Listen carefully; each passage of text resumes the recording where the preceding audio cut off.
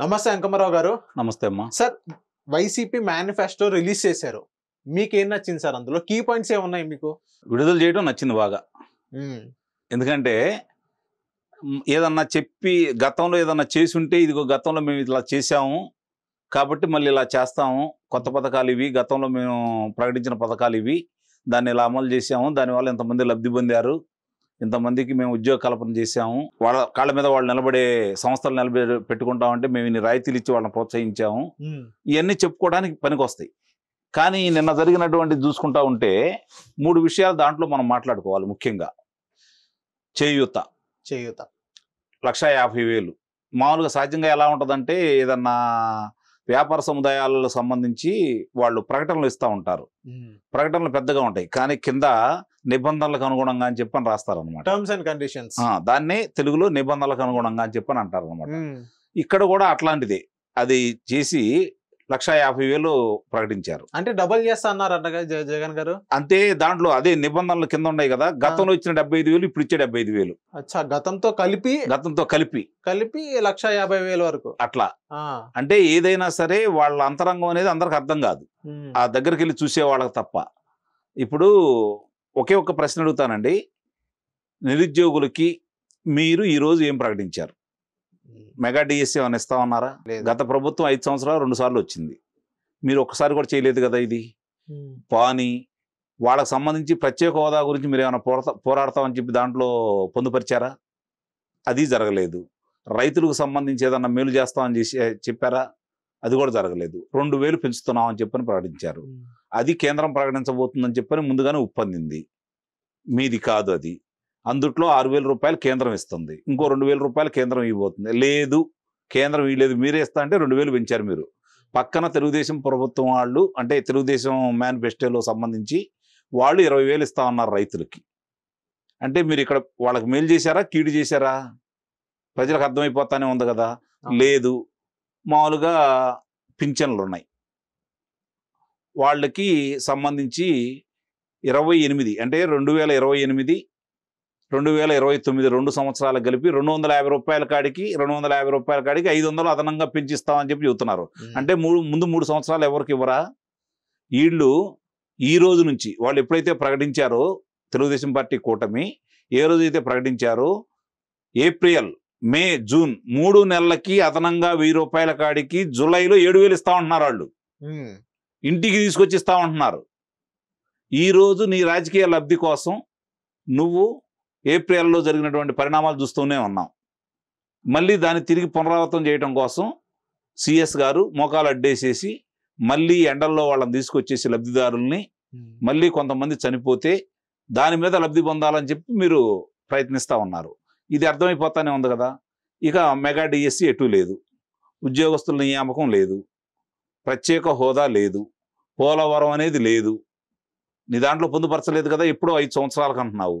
ఇప్పుడు పోలవరం అనేది డెబ్బై రెండు శాతం పూర్తి అయిపోయిందని చెప్పని మీ సభ్యులు లోక్సభలోను రాజ్యసభలోను అడిగితే జనవరుల శాఖ మంత్రులు గారు చాలా స్పష్టంగా చెప్పారు. డెబ్బై రెండు శాతం పూర్తి అయిపోయిందని మీరు ఈ ఐదు సంవత్సరంలో కనీసం సంవత్సరానికి ఒక శాతం కాడికి డెబ్బై ఏడు శాతం ఎందుకు పూర్తి చేయలేకపోయారు? ఈ లెక్కన ఎప్పుడు పూర్తి చేస్తారు? ప్రజలు అమాయకులు అనుకుంటున్నారా? ప్రజలకు ఏమీ తెలియదులే మనం ఏం చెప్తే చేస్తాం అనుకుంటున్నారా? అర్థం కావట్లేదు. వీళ్ళు ఎందుకు ఇలా ప్రవర్తిస్తున్నారు అనే దాని గురించి. ఇక మీరు అన్నారు మూడు రాజధానుల అంశం గురించి. మూడు రాజధానుల అంశం కట్టుబడి ఉన్నావు అన్నారు. న్యాయస్థానంలో చెప్పట్లేదు కదా నువ్వు? న్యాయస్థానంలో ఏమన్నా విరమించుకున్నావు అని చెప్పాము తప్ప తర్వాత నువ్వు శాసనసభలో మాట్లాడేవే కానీ న్యాయస్థానానికి దానికి ఏమి ఇవ్వలేదు కదా? అసలు నాకు అర్థం కాంది విశాఖపట్నం పరిపాలనా రాజధాని చేస్తానంటున్నావు ఇంతవరకు నీ పార్టీ కార్యాలయంలో తీసుకెళ్ళలేకపోయావు. అంటే ప్రజలంతా పిచ్చివాళ్ళ ముందు అది తీసుకెళ్ళి అక్కడ పెట్టు. నీ పార్టీ కార్యాలయాన్ని అక్కడ పెట్టు. ఇంతవరకు పెట్టడం చేత కాలేదు దాని గురించి మాట్లాడుతూ ఉన్నారు. అంటే ఇక్కడ చాలా స్పష్టంగా అర్థమైపోతా ఉందంటే తన వైఫల్యాలు ఆయన ఒప్పుకున్నాడు. తను ఏమీ చేయలేదు ఈ ఐదు సంవత్సరాల్లో. నవరత్నాలని చెప్పని ఆయన బడ్జెట్లో వచ్చే డబ్బుల్ని అప్పులు తీసుకొచ్చేసి రెండు లక్షల డెబ్బై వేల కోట్ల రూపాయలు మాత్రమే నువ్వు ఇచ్చావని చెప్పి నువ్వే చెబుతున్నావు కదా? మిగిలిన ధనం ఏమైపోయింది? ఈ మధ్య కొంతమంది మొదలు పెట్టేశారు. ఏంటిది? సచివాలయాలు నిర్మించాం. రైతు భరోసా కేంద్రాలను ఏర్పాటు చేశాం. అరే రైతు భరోసా కేంద్రాలు కావచ్చు సచివాలయాలకు కావచ్చు చాలా ప్రాంతాల్లో ఇంకా మీరు అద్దె కట్టట్లేదని తాళాలు వేసిన ఉదంతాలు ఎన్నో వస్తున్నాయి రైతులకు సంబంధించి ఆ రోజు నువ్వేం చెప్పావు? మూడు వేల కోట్ల రూపాయలతోటి రైతుల స్థిరీకరణ నిధిని ఏర్పాటు చేస్తానన్నావు కదా? అవును. ఒక్క పైసా అయినా దాన్ని కేటాయించావా? ఈ రోజుకి రైతుల గురించి నువ్వేమైనా ఆలోచిస్తున్నావా? గత ప్రభుత్వం పోల్చుకుంటే తెలుగుదేశం ప్రభుత్వం వనరులు ఉండా లేకపోయినా డబ్బులు ఉండా లేకపోయినా యాభై వేల రూపాయలకి ఒకేసారి రైతు రుణమాఫీ చేశారు కదా వాళ్ళు? యాభై వేల రూపాయల లోపు తీసుకున్న వాళ్ళందరికి కూడా. తర్వాత లక్షన్నరగా వాళ్ళు నిర్ణయించుకొని మూడు మూడు విడతలుగా విడతలకు ముప్పై వేలు గాడికి వడ్డీతో సహా చెల్లించారు కదా. అవును. చివరి రెండు సంవత్సరాలకు సంబంధించి కూడా డబ్బులన్నీ జమ చేసేసి కా మామూలుగా ట్రెజరీలో పెడితే మీ వచ్చినటువంటి రాష్ట్ర కార్యదర్శి ఎల్వి సుబ్రహ్మణ్యం గారు ఆ నిధులు విడుదల చేయకుండా ఆపితే ఆ డబ్బులు నువ్వు రైతులకు ఇచ్చావు కానీ దానికోసం ప్రత్యేకంగా నువ్వేం కేటాయించలేదు కదా. లేదు. మరి ఇవన్నీ రైతులకి ఆ రోజు విత్తనాల మీద రాయితీ భూసార పరీక్షలు చేశారు. వాళ్ళకి కావాల్సిన పరికరాలు అందజేశారు. ట్రాక్టర్లు అందజేశారు. చివరికి మెట్ట ప్రాంతం వాళ్ళకి మిర్చికి సంబంధించి టార్పాలు కూడా ఇవ్వడం కూడా జరిగింది కదా. మరి నువ్వేం చేసావు ఇందుట్లో? ఇక వీళ్ళన్నీ తీసు తీసే పక్కన పెడదామండి. నా ఎస్సీలు నా బీసీలు అని మాట్లాడుతున్నాడు కదా. నా ఎస్సీలకు సంబంధించే మాట్లాడుకుందాం మనం. బెస్ట్ అవైలబుల్ స్కూల్స్లో పిల్లలకి ఆరో తరగతి నుంచి పదో తరగతి దాకా ప్రపంచానికి పోటీ పడాలనే ఉద్దేశంతో మెరుగైన విద్యను అందించాలనే ఉద్దేశంతో వివిధ పాఠశాలల్లో మీరు వాటిని అంటే ప్రైవేట్ పాఠశాలల్లో వాటిని చదివించే బాధ్యతగా తీసుకొని గత ప్రభుత్వం వాళ్ళకి నలభై ఐదు వేల రూపాయల కాడికి ప్రతి సంవత్సరం నలభై ఐదు వేల రూపాయలకు వాళ్ళు ఖర్చు పెట్టి చదివిస్తూ ఉంటే మీరు వచ్చిన తర్వాత దాన్ని రద్దు చేస్తామనంటే న్యాయస్థానం తర్వాత రద్దు చేయండి. ముందు ఇప్పుడున్నటువంటి ఎనిమిదో తరగతి తొమ్మిదో తరగతి పదో తరగతికి వచ్చిన వాళ్ళకి దాన్ని మాత్రం మీరు చేయాలి అంటే తప్పనిసరి పరిస్థితుల్లో న్యాయస్థానం గురించి మీరు ఇచ్చారే తప్ప మీరు కొత్తగా మళ్ళీ ఏమీ మొదలు పెట్టలేదు కదా అది? మరి వాళ్ళకి న్యాయం చేసినట్టు అది? విదేశీ విద్యా కానుక అంబేద్కర్ గారి పేరు మీద ఉన్న విదేశీ విద్యా కానుకని ఈరోజు మీరు మీ పేరు మీద పెట్టుకున్నారు. పని ఏమన్నా చదివిచ్చారా? వాళ్ళ బడి బడుగు బలహీన వర్గాలకు ఏమన్నా ఆసరాగా నిలిచారా? మూడున్నర సంవత్సరాలు దాన్ని తాత్పర్యం చేశారు కదా? చివరి సంవత్సరమే కదా దానికి తీసుకొని వచ్చేసింది? అంటే ఇవన్నీ కూడా ప్రజలకు తెలియదు అనుకుంటారా బడుగు బలహీన వర్గాలకు సంబంధించి వాళ్ళకు సంబంధించినటువంటి ఏ ఎన్నో రాయితీలతో కూడినటువంటి వాళ్ళ వృత్తులకు సంబంధించినటువంటి పురోగతి సాధించడం కోసం వాళ్ళకు ప్రోత్సాహాలు ఇస్తూ పరిశ్రమల్ని పెట్టుకోమని చెప్పాను. అని చెప్పిన గత ప్రభుత్వం చేస్తే మీరు వచ్చిన తర్వాత సంపూర్ణంగా రద్దు చేశారు కదా. ఒక్కళ్ళకి ఒక్క కుల వృత్తి వాళ్ళకి సంబంధించి ఇచ్చారని ఏమైనా చెప్పండి? ఈరోజు మేనిఫెస్టో చూసుకుంటా ఉంటే అది ఈ మధ్య కొంతమంది కార్యకర్తలు వాళ్ళ సంబంధించిన నాయకులు మాట్లాడటం కూడా జరిగింది.